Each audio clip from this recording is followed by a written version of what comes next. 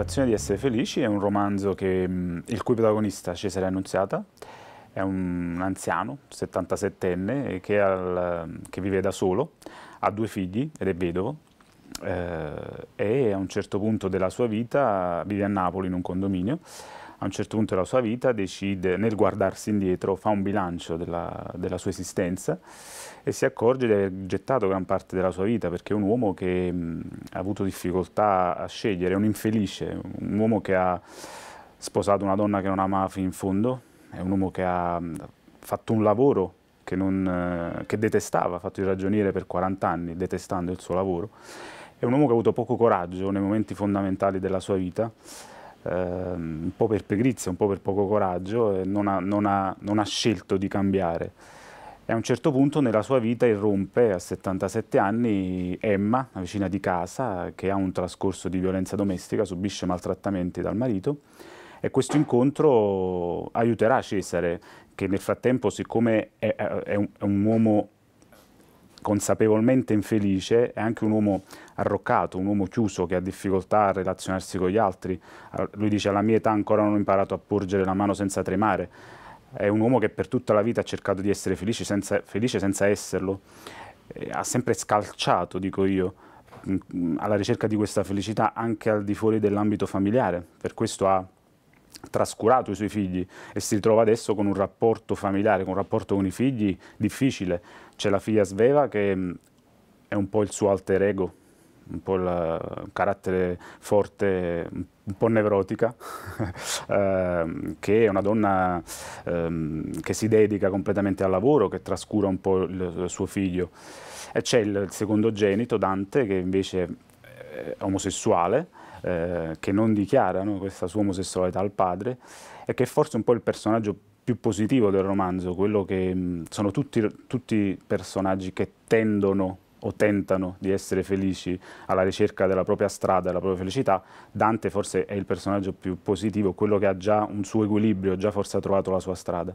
All'interno di questa, di questa storia, di questa vita, irrompe Emma, dicevo la vicina di casa di Cesare, con il suo trascorso di violenza domestica e, e questo incontro costringerà Cesare a intervenire, quindi a ridonarsi agli altri, a tendere la mano, a ridonarsi agli altri, alla vita, e quindi a, a, a, ridonarsi alle emozioni e quindi questo incontro cambierà anche il suo approccio, il suo modo di relazionarsi con, con i figli.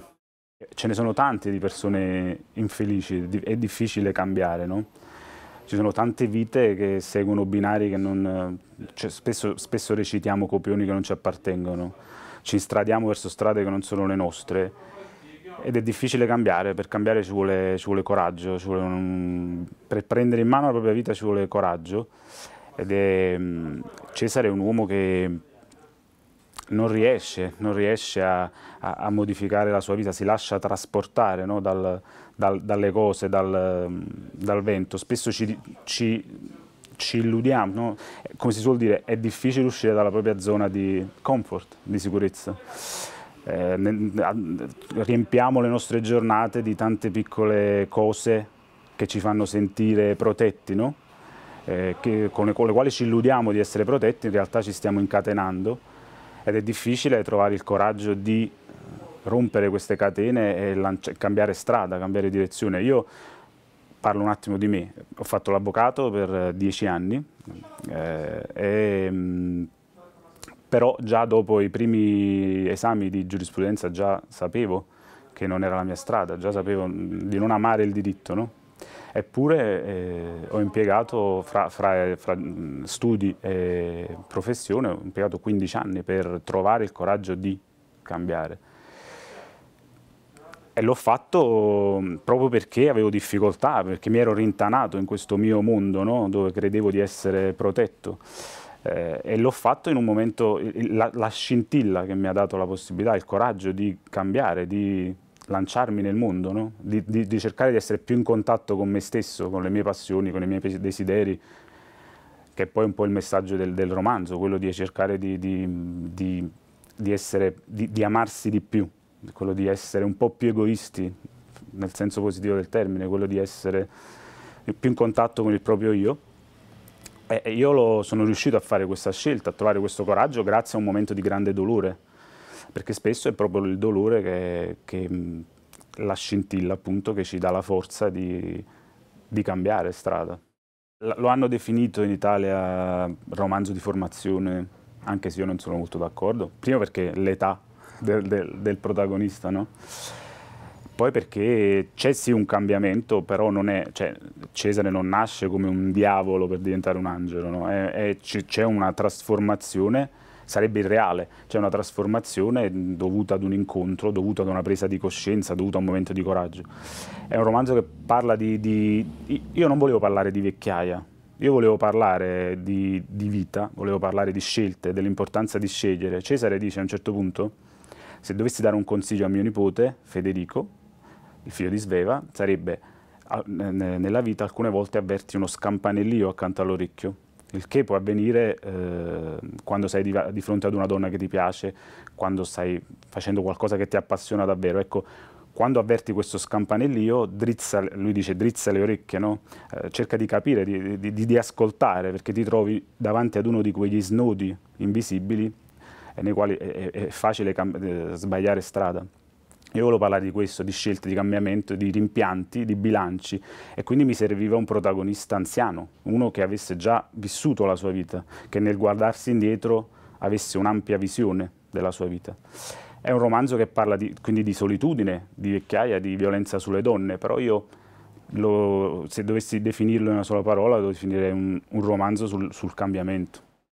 Commedia, io, è, è un po' il mio ambiente, il mio habitat, la commedia eh, credo che, mm, che, la commedia si piange e si ride, no? come nella vita, quindi eh, credo sia, sia il, la commedia ci permetta di, di, descrivere al meglio la vita, le relazioni, perché poi io parlo sempre no, di, di dinamiche familiari, nell'altro romanzo ce ne, ce ne, sono ancora di più, però qui comunque c'è, un, un, grande rapporto genitori-figli, insomma, e quindi la commedia, l'ironia mi permette di affrontare anche tematiche importanti, però cercando di non essere pesante.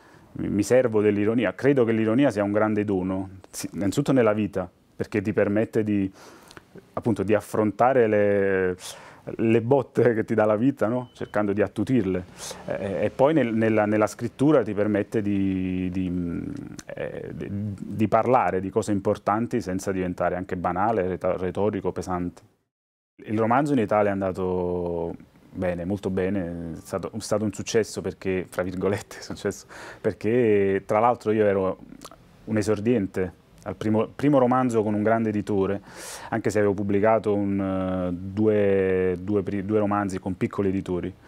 E, il, con Longanesi, insomma, in Italia è, è arrivato questo, questa... Um, il romanzo è piaciuto tanto, credo perché ci si identifica nel, nel, nel personaggio, nei personaggi. Ho ricevuto tante, tante dimostrazioni di affetto, tanti messaggi, email nei quali, appunto, nelle quali i lettori mi, dice, mi, dicono, mi dicevano proprio questo, no? la, la, difficoltà di uscire da, da, queste strade che non ci appartengono, l'importanza di, di, vivere quotidianamente, di, di cercare, di, di essere felici, no? di tendere a questa felicità. Eh, e quindi credo sia è un, sicuramente un, un, argomento che sta un po' a cuore a tutti e quindi è, è facile identificarsi. Ehm, per quel che riguarda il, il, il passaggio al, al, cinema, niente, c'è stato un produttore italiano che si è innamorato del, per fortuna si è innamorato del, del libro, lo ha proposto a Gianni Amelio, che è un, uno dei più grandi registi italiani, e, e niente, e hanno fatto questa, questa trasposizione. Io non ho, non ho, partecipato alla sceneggiatura, eh, sono stato sul set da ospite e mi sono divertito tanto eh, sarà ovviamente come quasi sempre insomma, ispirato al, al, al, romanzo, però c'è un guidato da un grande regista, poi c'è un grande eh, cast, eh, c'è Renato Carpentieri, Elio Germano, Giovanna Mezzogiorno, Greta Scacchi, ehm, Maria Nazionale, tanti altri, insomma un, un gran bel cast e uscirà l'anno prossimo in Italia. Non posso che essere felice, a proposito di felicità, soddisfatto no? che un grande regista possa aver tratto ispirazione dal, da, una, da una mia storia.